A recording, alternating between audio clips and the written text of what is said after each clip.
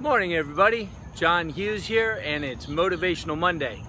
This morning I want to talk to you about procrastination, some of the causes and ways to get over it.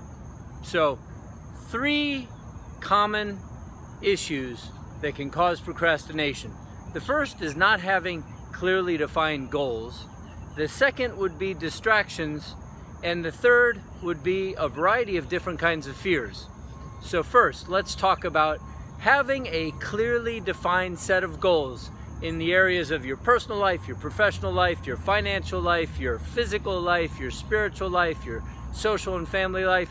Hugely important because that way you can ask yourself at any point, is what I'm doing right now the most important use of my time to progress me towards my goals?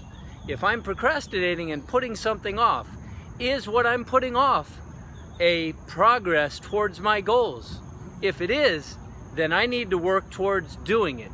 Because whatever else I'm doing, if it's another goal, that's okay.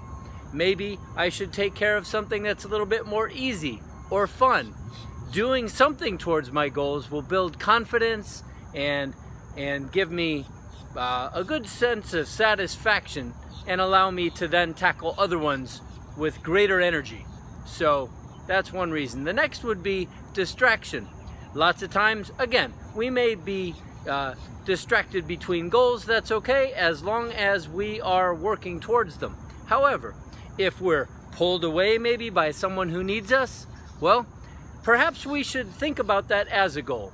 I think we should be on this planet in the service of other people. So if we can help somebody, quickly empower them to take care of their own issue, for example, you've heard the old adage of giving a person a fish, they eat for a day. Teaching them how to fish, they eat for a lifetime. So if we can help them rapidly, get them up and running and self-empowered to continue, fantastic. Then we can return to our goals.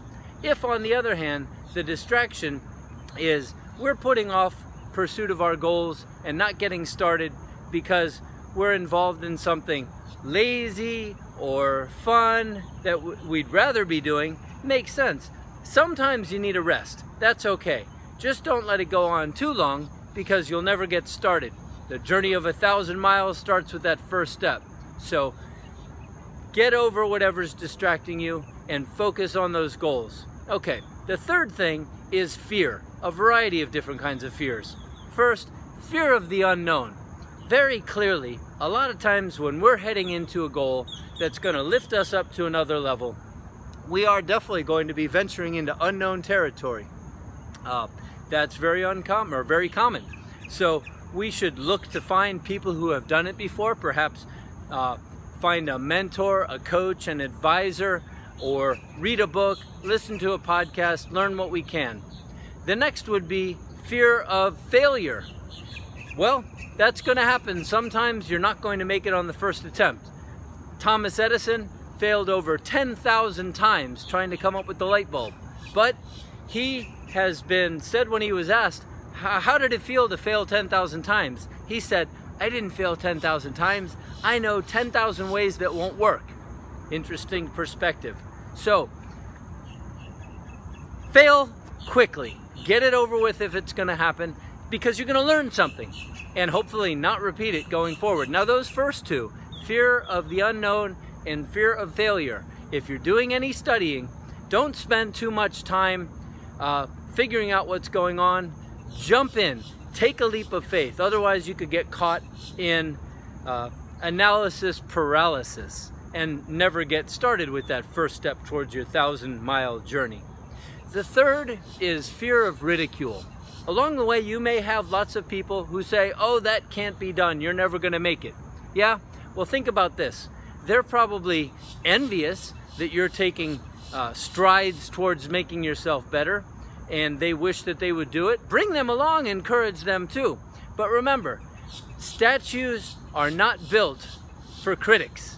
So turn that off. Sometimes you'll need to leave that and surround yourself with a tribe or community if it's available of other achievers and read things as I've said before about other people who have faced adversity and overcome it and take that leap of faith.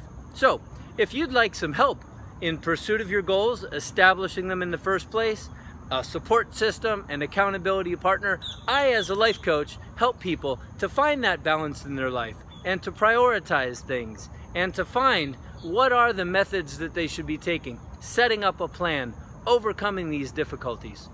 And so please reach out to me either at coachjohnhughes.com and set up an appointment for us to talk or send a comment on this email. I would ask you to subscribe to my YouTube and share it with other people. Send in your comments and just have an awesome week.